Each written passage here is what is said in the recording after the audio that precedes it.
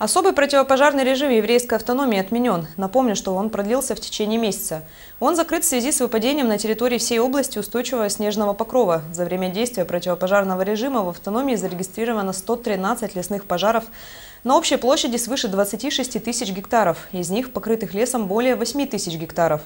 Ущерб лесному фонду по предварительным данным оценивается 45 миллионов рублей. Лесопожарная обстановка в течение всего сезона была под контролем. Тушение пожаров обеспечивалось первые, вторые сутки с момента обнаружения. Основная причина возгорания – выжигание сухой растительности. Шесть пожаров возникли по вине населения. По всем выявленным случаям правоохранительными и надзорными органами проводятся расследования.